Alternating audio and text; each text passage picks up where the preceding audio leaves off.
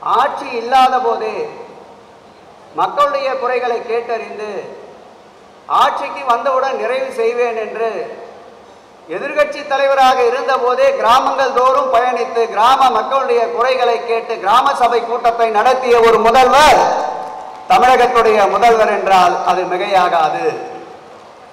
காந்தியடிகள் மேற்கொண்டது சமாதானம். ஒரு மனிதனுக்கு பசி என்றால் அது அன்னதானம். உயிர் பிழைக்கும் மாமருந்து என்றால் அது இரத்த தானம் ஒற்றுமை தேவை என்றால் மனிதனுக்கு தேவைப்படுவது சமாதானம். அந்த சமாதானத்தை உருவாக்கி தந்த மகாத்மா தான் அண்ணல் காந்தியடிகள். அவருடைய பிறந்த நாள் தான் இன்றைக்கு நாம் கொண்டாடி கொண்டிருக்கின்றோம். சுதந்திரம் என்பதை செய்ய விரும்புவதை மட்டுமல்ல சுதந்திரம் என்பது செய்யக்கூடாததையும் தவிர்ப்பதுதான் சுதந்திரம் என்றால் அண்ணல் மகாத்மா காந்தி அவர்கள்.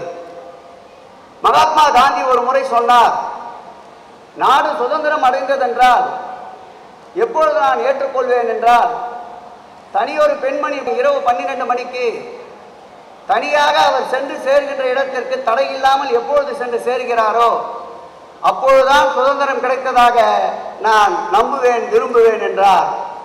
இன்றைய தமிழகத்தில் தனியொரு மனிதனுக்கும் பாதுகாப்பு அளிக்கின்ற ஆட்சியாக இருக்கின்ற நம்முடைய முதல்வர் தளபதி அவருடைய ஆட்சி காந்தி கண்ட கனவை நினைவாக்கி கொண்டிருக்கின்ற ஆட்சியாக நாம் இன்றைக்கு பார்த்து கொண்டிருக்கின்றோம். காந்தி தமிழகத்திலே சுற்றுப்பயணம் மேற்கொள்ளுகின்ற போது சொன்னார் அருகிலே இருக்கின்ற ஆர்கே நகர் சட்டமன்ற தொகுதி மிகவும் தாழ்த்தப்பட்ட மக்கள் வசிக்கின்ற பகுதி அரிநாராயணபுரம் என்று குறிப்பிடுகின்ற பகுதி அந்த பகுதியிலே ஒரு நாள் முழுவதும் தங்கியிருந்தார். தங்கியிருந்த பொழுது அவர் சொன்னாராம் நான் தமிழனாக பிறக்க வேண்டும் என்று ஆசைப்படுகிறேன் என்று அந்த தமிழை நேசித்த காந்திக்குத்தான் இன்றைக்கு மாண்புமிகு தமிழக முதல்வர் பொறுப்பேற்றவுடன் எழும்பூர் அருங்காட்சியகத்திலே காந்திக்கு சிலை அமைத்த பெருமை நம்முடைய தமிழக முதல்வர் அமைச்சர் அவர்களை சாரும்.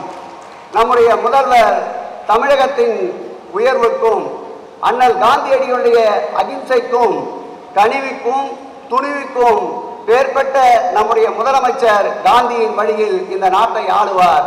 வாழ்க காந்தியின் புகழ் வாழ்க காந்தியின் புகழ் என்று கூறி விடைபெறுகிறேன். நன்றி வணக்கம்.